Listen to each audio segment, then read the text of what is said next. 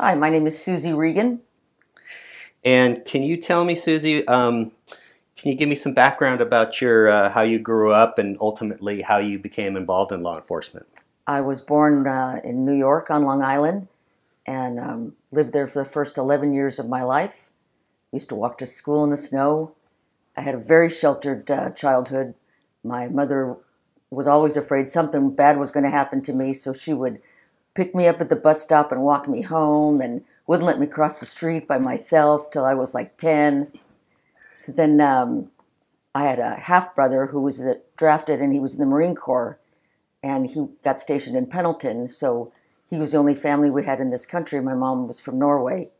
And so we moved 3,000 miles across country so we could be close to my brother. That's how I ended up in the LA area. Um, always in sports in high school. Um, got bored pretty easily. So um, my dad died when I was a senior in high school. And in order for my mom to continue to collect Social Security, I had to be a student till I was 18, which was the only reason I was going to junior college. And I wound up taking a introduction to law enforcement class as an elective. And um, I remember sitting there in this hall listening to this instructor thinking, I could be outside. I said, this could be kind of cool. So I got a job as what they would call a community service officer. You had to be a full time student, and it was a part time job. It was kind of like um, like a cross between a report car and a meter maid. You handled nothing but cold calls, and you wrote parking tickets. And um, oh, had my little. I still have my uniform shirt with my patches. I worked for San Fernando PD uh, for four years as a civilian, and um, I still have the receipt from the uniform shop because this was like the coolest thing ever. And um, so I, I, worked there as a community service officer for a couple years, and then I was a dispatcher, and then I just started applying everywhere. And there's actually there's a picture of me on the front page of the San Fernando local paper when LAPD lowered the height requirement because I, I was only five two, and it used to be you had to be five six. So I can remember it, before they lowered the height requirement, thinking I was so smart, I wore these big platform tennis shoes. And back in the day, your pants were so wide they covered your shoes. And I brought an extra pair of shoes in with me, thinking that they would think I was this tall because I had a pair. And they just looked at me and said, "Nice try. Come back when you grow another four inches." So uh, once they lowered the height requirement, I just applied everywhere. And um, I applied in Orange County, Riverside County. I figured whoever picks me up first, and then I can pick and choose afterwards. But I, I always wanted to work for LAPD. Back in the day, who didn't, you know?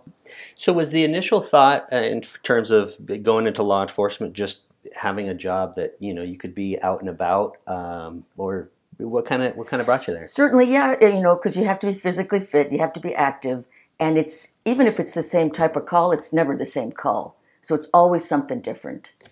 Okay. Did you ever worry about um, the danger of the job? No. Isn't that it's looking back? It's it's kind of a stupid thing, but no, I, I never did. Growing up, my parents never told me I couldn't do something because I was a girl. I mean, that sentence was, was just never uttered. You want to do something?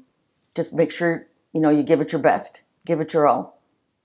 Okay, so you start applying everywhere and ultimately you get hired by LAPD.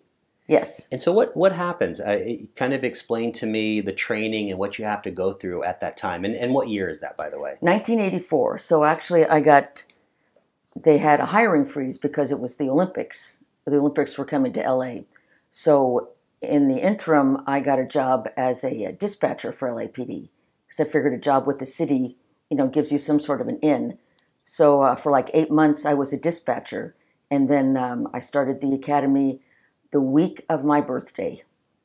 And I just, you know, you're filling out all these forms, and you hear all these horror stories, and I just remember thinking, please, baby Jesus, don't let anybody find out today's my birthday, because God only knows what kind of torture they're going to, you know, give to me. And these were the days where, you know, it was still very paramilitary. You know, I swear the PT instructors would eat a raw onion and then come yell and scream at you. And oh, the first, the first week, second week in the academy, You know, we're all supposed to wear sweats, sweats with our name stenciled. Well, I'd forgotten my stencil, my uh, sweats in my car. We didn't have enough time to run down to my car before we were all out on the PT field. So I borrowed somebody else's that was, she was light duty, so she wasn't wearing it. And I thought, oh, it's only the first week. They'll never remember who I am. Well, out of a class of 85, there was only like 12 females. I probably should have been smart enough to figure that out. So, and all my classmates are like, WTF, what are you doing? You know, oh, it'll be fine, it'll be fine. And um, we're standing in formation, and, and our head PT instructor, he's walking up and down, and all of a sudden he stops in front of me. He looks at me. Tisdale? He says, quote unquote, did you fucking get married overnight? Sir, no, sir. Thankfully, nobody else but me got, I had to write a 500 word essay on why I impersonated another police officer. Good Lord. Lots of ands and thes and all handwritten. so how long was um how long was training for LAPD at the time? It was six months. Okay. And what did what did it include? It was the longest six months of my life. When people would ask me, How are you doing? How's it going? I would judge how I was doing by how much time I had left. You know, two months to go or, you know, three months left and it was it was tough looking back kind of like high school you know while you're in it it's horrible and then as soon as you're done with it you're like man that was fun what a good time you know we had to scale the wall and i'd never handled a gun before so i had to learn how to shoot and um, you know pursuit driving and dtac you know hands on uh, it, it was the best. I loved it. What was the hardest thing for you going through the training? Staying awake in the classroom probably. I just wanted to get out there and start doing it you know? Not understanding that you have to learn the ba- you know and they went through the whole history of lapd and everything so and they tell you the reason that the badge is oval shaped and not a star with no pointy edges so that when somebody you encounter who's bigger and badder decides they want to shove it someplace it doesn't hurt you physically because it's rounded right So in '84, can you kind of give me a climate of how policing was in Los Angeles? Um, it was still very old school. There still weren't a lot of females. Um, I got out of the academy. I went to North Hollywood Division, and um, which is close to Burbank Studios. And when I worked day shift, you know, I'd be on a traffic stop, and people would stop and walk up to us and ask us if we were filming a movie. It's like that. No, this is real life. did I mean did they did they stop you thinking you were filming a movie because you were a female or just? Uh, I think probably because I was a female. Yeah, and they just weren't really used to seeing us. You okay. know, we were kind of an oddity still at the time. Okay, so you were in North Hollywood. Can you give me an idea of what kind of uh, calls that you would work on?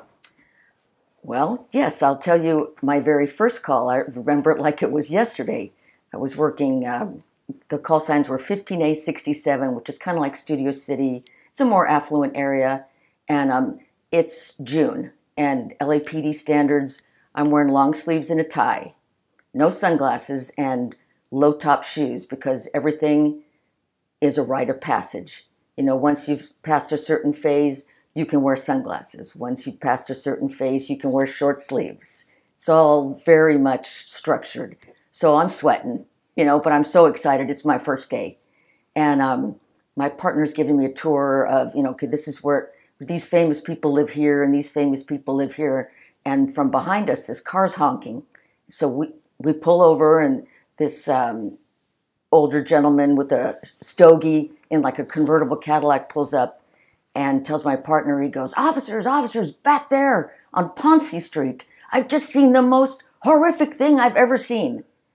So my partner's like, Well, what did you see? He goes, I can't tell you. There's a woman in your car. And then my partner's like, It's okay. She can handle it. She's pretty tough. And um, he goes, Back there in the middle of the street, there's an eight foot penis. And we look at each other. It's like, All right. I'm like, How do I call out on that? You know, what do I say? What do I say? What's the what's the proper verbiage here? So we turn around, we go back, and it was um, some people of an alternate lifestyle that were having a garage sale, and that was their lure to get people to come to the garage sale. so I'm just like, oh my God. So the next day in roll call, you know, I'm sitting there in the front row taking notes diligently on everything. And um, they're getting ready to dismiss us. And the assistant watch commander goes, It's a tradition here at North Hollywood that, you know, probationary officers stand up, turn around face everybody, and tell us about the first call you went on. Oh, I'm thinking, oh, this is going to be great. And as I'm standing up, I'm thinking, oh, oh no. So as I stand, as I'm turning around, the back two rows, how big was it? Oh, it was classic. I thought, all right, this is going to be a good job. I'm going to fit in just fine. Not sure you could do that at today's climate, but it was it was a lot of fun then. Okay, so how does your how does your career progress at that point with LAPD? I mean, uh, I'm assuming at some point you get past probation. Um, what becomes and I think part of the reason the, the the draw of law enforcement is there is no typical call. But did you become more familiar with calls, certain calls, other uh, over others? Well, sure. And as soon as you get done with your probation in LA, they that's what they call they wheel you. They transfer you to another section of the city, so you don't become too complacent and too comfortable in one spot. So I got wheeled to downtown LA. So I walked a footbeat for a couple years in Skid Row, and um, I knew that I had worked there too long when I stopped washing my hands so frequently, because dealing with all the homeless people and everything was like, ah, oh, it's fine all their bad habits just didn't seem that bad anymore. So later on, you go to Modesto PD, and we'll we'll get to that uh, eventually. But focusing on Skid Row, um, have you ever had an opportunity to go back and see how it is now compared to what it was? I haven't been back to LA. I moved here eight years ago to Idaho, and then I left LA in '94 and I would go back, to, you know, to visit friends, but to downtown, I have I've seen you know little clips on the news. It doesn't look like it's gotten any better. So, do you think it it was as bad then as it is now? I certainly thought it was because I didn't have anything to compare it to. But um, it seems as though it has become more populated. Okay. And how about um, when you were in LA at the time when you started? what was the climate uh, in, in terms of civilians toward law enforcement? Were they happy to see you? Were they not happy to see you? I think that they're never happy to see us when they don't. We're like the American Express card. You'd rather have us and not need us than need us and not have us. You know, it's always, where were you five minutes ago kind of a thing. And I think that's true in, in both departments that I worked in, mm-hmm. or actually all three, if you want to count my civilian time in San Fernando. Okay. Okay. So you graduate from uh, probation. How does it progress? How does your career? Pro- then I, I got wheeled to downtown LA, and um, where you really don't have any family calls. There was no domestic violence back in those days, and so it was a lot of, of dope calls. You know, people rock cocaine was at the height of its glory, so we were arresting people for rock cocaine left and right. Okay. It, it was not uncommon to have like 70 arrests just for dope every month. And so a majority of those are they just, you know, normal people dealing dope or is it, you know, obviously there's there's a big gang problem in LA. Is are you dealing with any gangs at that point? Not in downtown LA. I later uh, worked South Central and I was there for the riots and yes, that was, you know, a whole nother ball game. Okay. okay. So you start working, obviously, crack cocaine. Start working dope in uh, in downtown. Um, do you? How long are you there in downtown? I worked in downtown LA for two years, a little over two years, and then I transferred to um, Plainclothes, where I I, um, I worked the west end of the city, like Santa Monica area, Hollywood, um, Wilshire, and um, where I was plainclothes trying to buy dope. Some people dirty well and some people don't dirty well. I don't dirty well. I was not a very believable. so I was always the uh, UCLA kid going to school. You know, I always had school books in the back of my car so that they would think I was a UCLA student because it just wasn't it wasn't a good believable look for me. So just just kind of explain it for for the listeners or viewers. When you say plain clothes, what does that mean? Um, I would be dressed just like this: blue jeans, shorts, you know, tennis shoes. Nothing police related at all.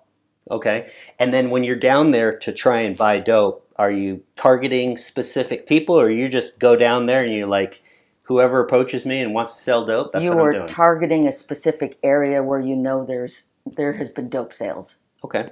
Okay. Um, so you work in plain clothes for how long? Uh, eight months. Okay. Uh, do you ever make detective? Is that is that a goal of yours? No. Okay. And and why not? Just curious. I I just liked pushing a black and white. I just did. I loved it. so what what uh, what drew you to the or I guess maybe they just assigned you to the plain clothes? Um, no, actually, I'd put in for it because I thought I wanted a little change of pace. And then the deciding factor for me was it was myself and two other uh, plainclothes officers. We were in a car, and I was in the passenger seat, and um, had a, we had a gun pulled on us. They were they wanted to rob us, and um, I could see the indentation of the hollow points in the revolver, and I thought, I think I like my odds better uniform, or at least you know it's an even playing field. Right. So that that was my last um, my last hurrah. Anything interesting happen to you while you were in plain clothes? Any interesting stories? Probably none that I should share. How's that? Okay, fair enough. Okay, so you were in um, uh, plain clothes for working dope for about six months, right? Six to eight months, yeah. Okay, and then and then what happens? Then Where I go? transferred to uh, Southwest Division, which is in South Central LA, Okay, and I was there for five years. and how was that perspective being in South Central? Um, I loved it because people didn't call until they really needed you. You know, they're not calling for the barking dog or whatever. That's some serious crimes. Like I said, that was in the heyday of all the gangs. So drive-by shootings all the time. You know, you, you actually felt like when you when you caught somebody, you made a difference in somebody's life somewhere. Was there a typical call that you'd get in South Central? Oh gosh, drive-by shootings were like all the time.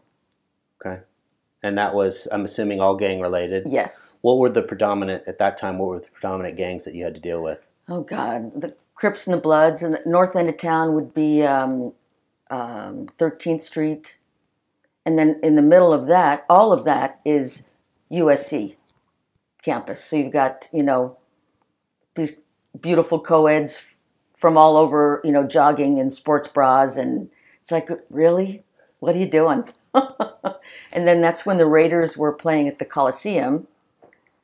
So you've got the Raiders football games on Sundays, and then you've got USC football games on Saturdays. So there's quite a large variety. Okay.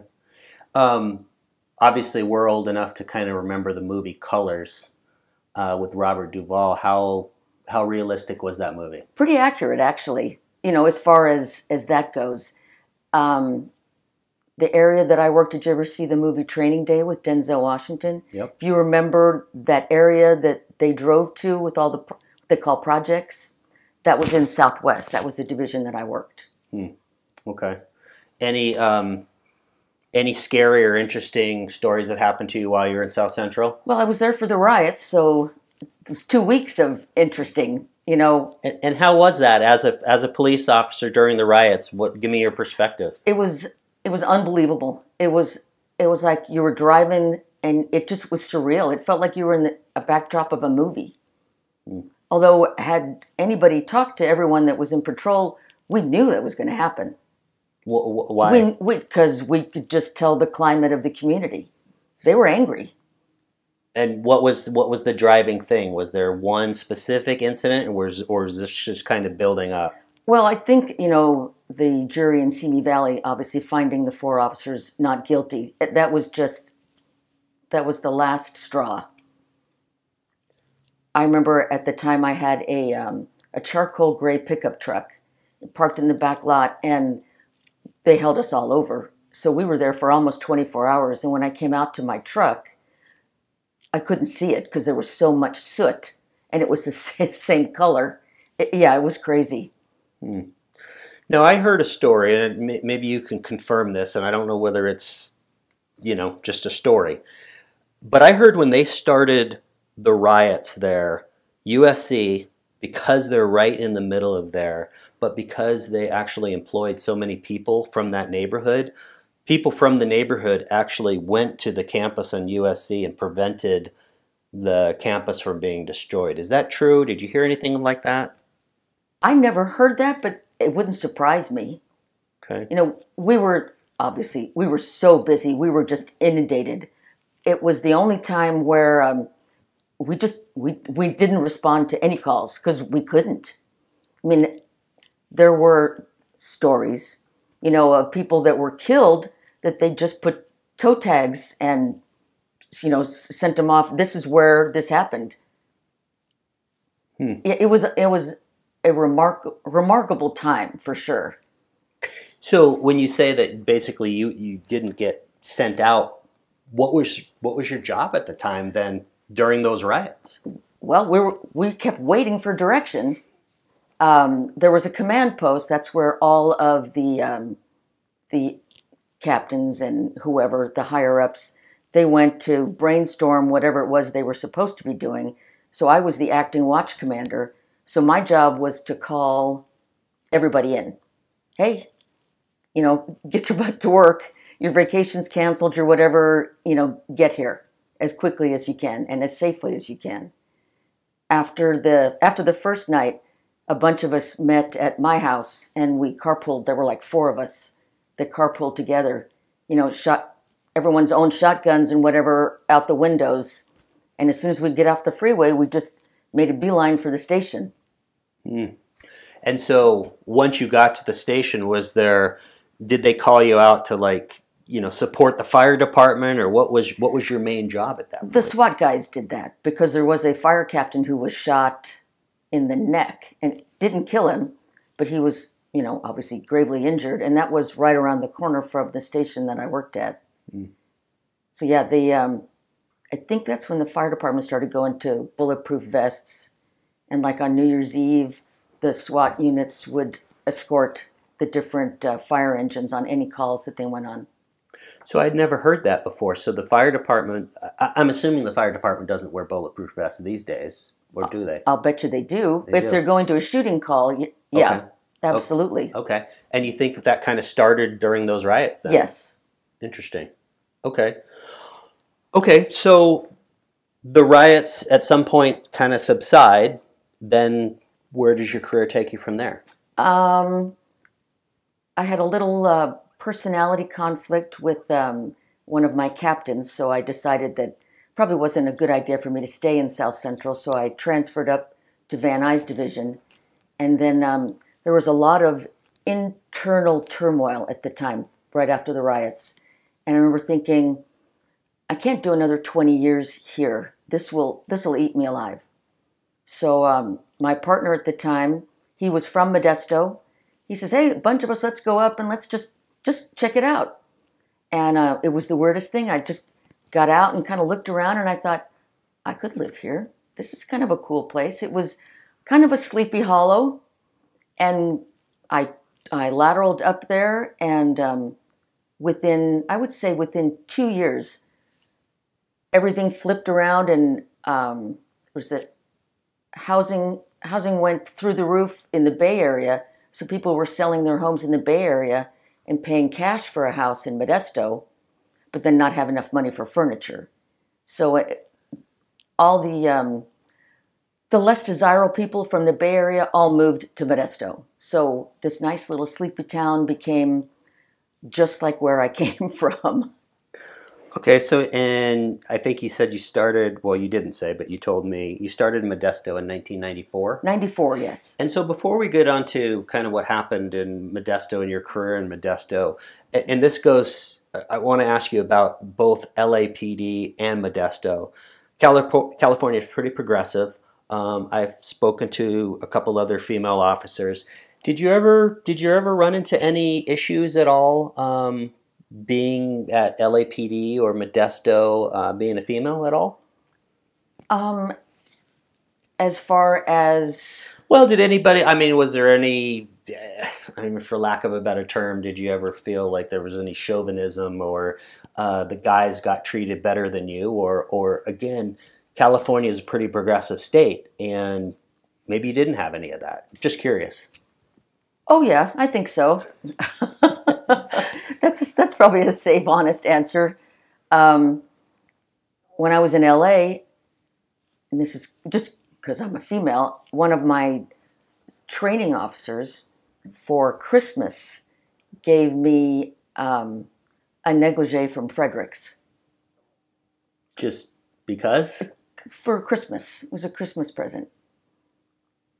Okay. So it was one of those things, and of course he says, you know, don't open this here, you know, wait till you get home. And um, so I opened the, the box and I was like, this doesn't happen to people in real life. This happens. This is like a movie, right? It's like an ABC movie of the week or something. It's like how, how do I how do I handle this? You know, because if I if I say something or if I don't say anything, what if he gives me a bad rating? And then they're going to say, well, I just said something because he gave me a bad rating. You know, it was it was um, I handled it and I went to a lieutenant that I thought I could trust and said, I'm going to let you know that something's happened, but I need to trust you that I'm going to handle this on my own. And he's like, no. I said, all right, then I won't tell you. He goes, get your ass back here. And um, he told, I told him, and he was just like, oh my God. I said, I want to handle it. And, you know, I, um, the next time I worked with this guy, I gave it back to him. Said, you know, I appreciate the fact that you thought about getting me something for Christmas. Said, under the circumstances, this is probably something that's better suited to give to your wife. So do you think he was trying to hit on you, or did you think it was just? I a- think a he thought he had idea? a 50 50 shot, Oh. okay. to be honest. Okay. All right. But um, he, he said, okay, never mentioned it again. Turned out to be a great partner. Hmm. But it certainly could have went a whole bunch of different ways. Just remember thinking, this is not happening. How about, um, you know, you said you're five two, and you never really thought about this, and I'm assuming maybe you thought about it once you started the job. But was there any concern uh, of personal safety being five two out on the job and maybe having to deal with some gang members or larger larger people? No, I never did. I think it's I think it's all in your attitude, you know, and I don't have a problem looking at somebody in the eyes and telling them, "Yeah, you're bigger than me." And you may get the first lick in, but I got a thousand of my best friends that I can have here in a matter of minutes. Yeah. So do you think, um, and I certainly believe this, but being a female, does it give you a different perspective in dealing with people or how you interact with people? Yeah, I, I think that they expect you to be, you know, the weaker sex or more compassionate about certain things. I don't possess that coddling gene. It's not in my DNA. So um, they might have been in for a surprise. But uh, I think it, it all comes down to how you conduct yourself and, you know, your presence. You know, if you walk in, you know, kind of hunched over and, you know, look down, well, yeah, someone's going to walk all over you. But that's true in life, in any job. You know, if you give somebody and give somebody a handshake like you mean it and um, look at people and I, I just think it gives a different perspective a Okay. different aura Okay. So you start with the Modesto PD, uh, 94. Tell me, is there any difference between what you're doing in Modesto than what you were doing in LA? night and day Really? Night in- and day. In what way? just uh, um, especially when i started it was a much slower department i remember i was they have to you have to go with the training officer for at least a couple weeks just to get used to the different policies i remember going to a neighbor dispute with this training officer of mine and he's like well how would you have handled this in la said i don't think i ever went to a neighbor dispute. So we would just wait till they escalate and somebody shoots somebody and then we go you know it's just it's like I, i've never handled a neighbor you know just a plain old like barking dog or whatever. It w- was just not that common. Hmm. Any interesting stories in Modesto? oh i'm sure there were we worked one man cars so it was you know a much different way of doing work you know? So let me ask you about that. So in, in LAPD, you were always in a two man car? unless you worked what they call a report car which is where you just handle nothing but cold calls yeah you're always in t- I don't know if that's still the case, but that's how it was when I was there. So, what was the reasoning for a one man car in Modesto versus LAPD? Is it just uh, less officers, or do they have a different policing philosophy? Um, I'm sure um, the danger level and just less officers. You know, you can cover more ground, Hmm. or at least you have the appearance of covering more ground. Did you notice? I mean, obviously, uh, for the listeners, for the viewers, I mean, I think we, you had mentioned you spent over 35 years in law enforcement? 31, 31. close enough, Okay, over 30. Okay, okay, over 30. so during that time, did you notice a change in attitude in society toward um, toward law enforcement? Did you ever see that, or, for example, has it gotten worse toward the from the very beginning when you started with LAPD toward when you retired with Modesto? Did that relationship between you and uh, the people you interacted with did it get worse? I think so, yes. I think people became more entitled. They felt like they had the right to question you. Okay. It's like, I'm in the middle of something now. I'm happy to answer your questions. I need to deal with this, and then I can come back to you. But they wanted answers like right away. It's like, I, I don't have time right now. Was it a generational thing? You think was it It could very well be, yes. Okay. And how about over time? Uh, you know, didn't ask any anything uh, personally about your uh, personal life, but did the did being a, a law enforcement officer affect uh, your family at all? Um, well, when I first started, my mom would always ask me, "Oh, you know, can you tell me a story?" No, I'm not, Mom. I'm not telling any stories. and then I can I can remember, you know, as I had more time on the job, people would say, "Hey, remember? Tell me that story again about you know da da da da da," and I'm like, I, I don't know what you're talking about. I you just sadly you can't remember. It was probably a great story. I wish I had taken the time to write down the funny stories. Right. You know, sadly, you remember the bad stories like they were yesterday, but you know the funny ones. How about your How about your views on how the job affected you personally and how you interact with people out in society? Did did you do you think it changed? Oh, absolutely. I was what we used to call white boy on white bread when I started. You know, my eyes were big like saucers every day. I grew up in a very white neighborhood. I think there was only maybe 10 Hispanic kids in the whole school. There was one black kid. I mean, very white. To go from that to working, you know, in LA, it was just like, oh my gosh, wow. I um, I took before I got hired by LA. I was testing for LASO, and I made it to my oral, and the two deputies were asking me um, situational questions, and they said, "You and your partner driving through the projects. Your partner uh, throws the car in park, and he gets out and he runs. What are you going to do?" And I just I just sat there looking at them, and they're like, "Do you have a problem with the question?" And I'm like, "What are projects?" you could they looked at each other and you could just see them going all right thanks thanks miss regan i'd never heard of them i had no idea what they were Yeah. so i mean that was my upbringing But do you? I guess here's here's trying to elaborate a little bit on my question. When you came in, you know, a lot of a lot of police officers come in. They have this kind of fresh view on how they deal with people, um, and then some guys get really jaded toward the end of their career and how they deal with the public, and some people don't. How, how do you? Do you have any opinion on that? i would like to think that i treated everyone fairly i allowed i allowed them to a point to dictate how the call was going to go.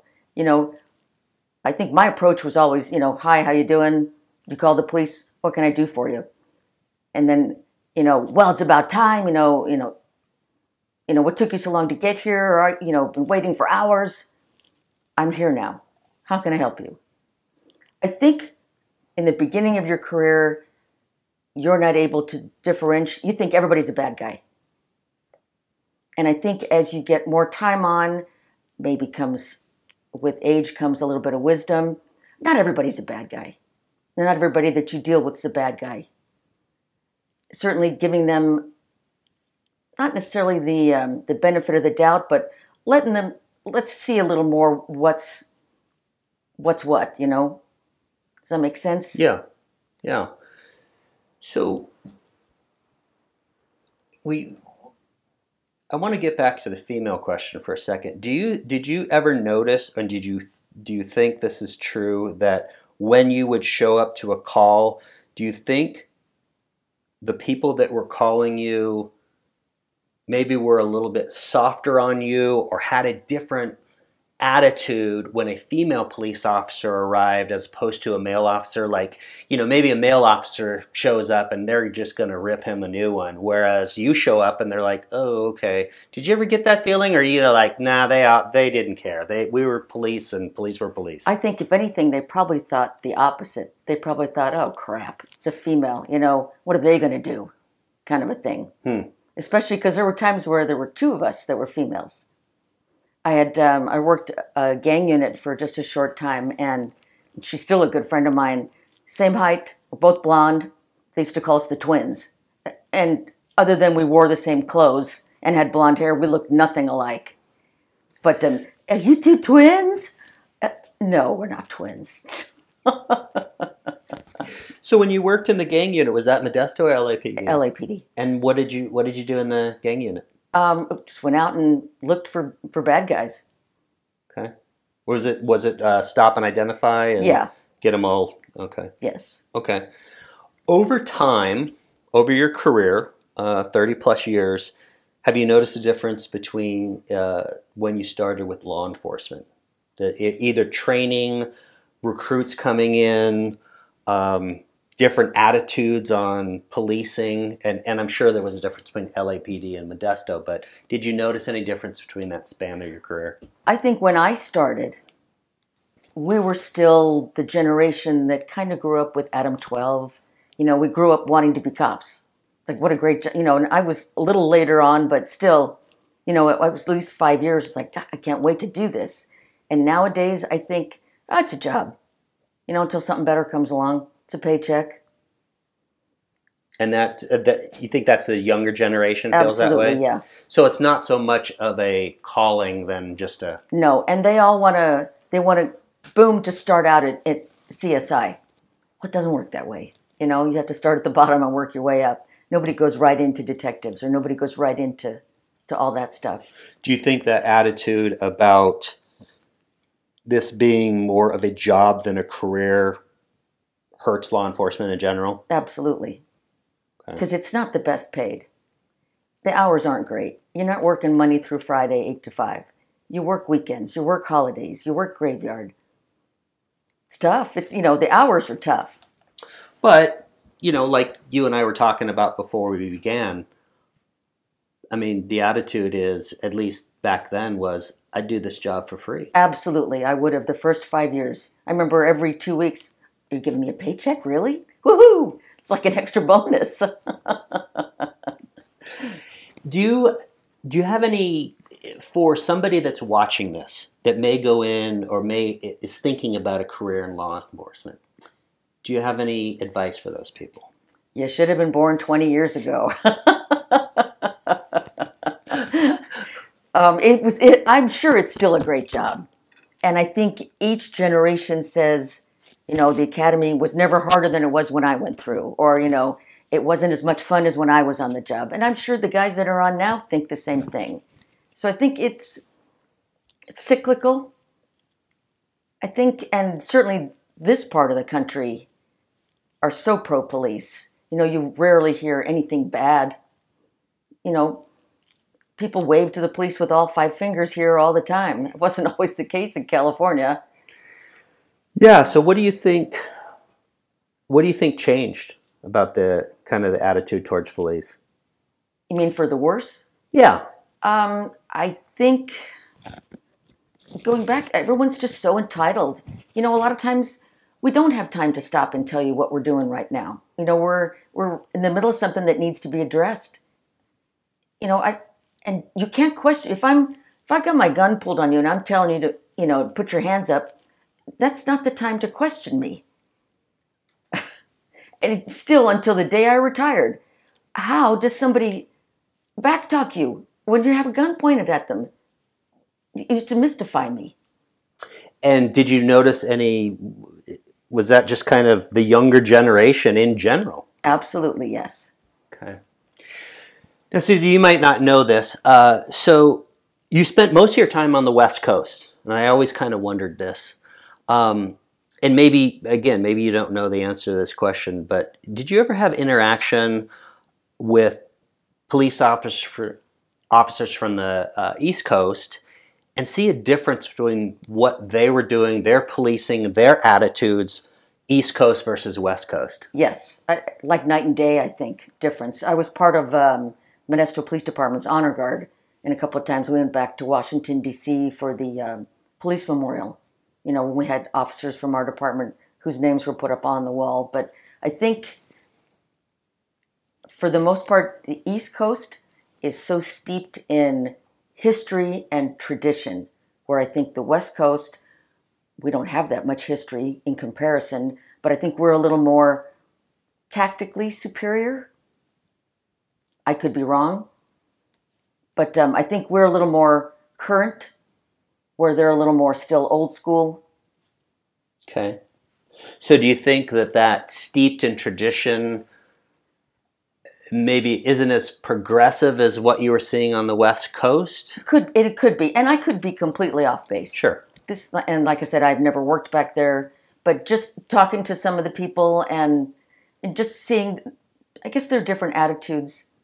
Plus, you know, we're so sprawled out in comparison to they're right on top of each other.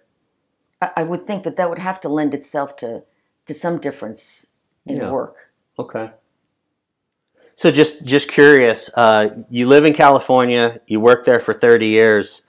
What uh, what brought you to Idaho? I wasn't going to retire and live in California. Just wasn't going to happen. My happily ever after was not going to be there. Okay. As much as I miss my friends, that's what they make planes for. Okay. Suzy, I really appreciate you chatting with me. Thank you very Oh, much. my pleasure. Thank you.